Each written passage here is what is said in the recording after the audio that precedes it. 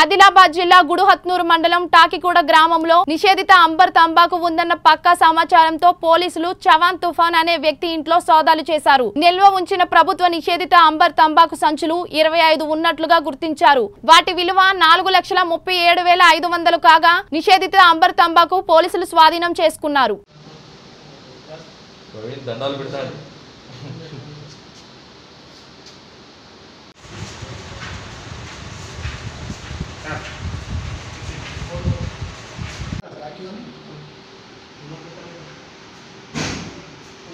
ఈరోజు మధ్యాహ్నం విశ్వసనీయ సమాచారం ప్రకారము టాకీగూడలో నిషేధిత అంబార్ గుట్కా ప్యాకెట్లు ఉన్నాయని ఇన్ఫర్మేషన్ మాకు రావడం జరిగింది.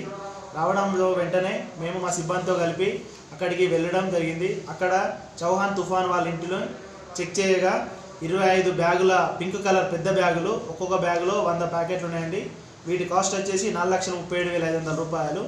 మేము అక్కడ వీటిని పంచుల సమక్షంలో సీజ్ చేసుకొని పంచ సీజర్కం పంచనామా చేసుకున్నాము. చేసుకొని అది తీసుకొని రావడం జరిగిందండి. ఇది చౌహాన్ తుఫాన్ వాళ్ళ ఇంటికాలో మాకు లభ్యమైంది టాకీగూడలో. ఇతను వాళ్ళ బావ మరిది అయిన రాములు గణపతి ఏవన్ ఇతను వాళ్ళ ఇంటికాడ పెట్టినట్టు చెప్పడం జరిగింది. ఇతను కిరిమిరి గ్రామానికి చెందిన వ్యక్తి.